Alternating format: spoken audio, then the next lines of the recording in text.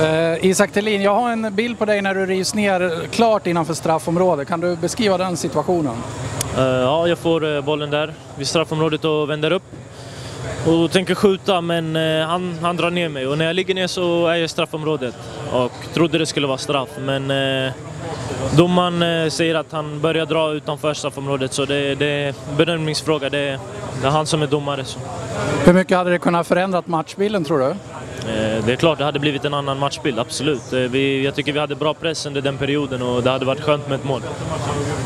Eh, hur tyckte du stämningen var på Malmö stadion?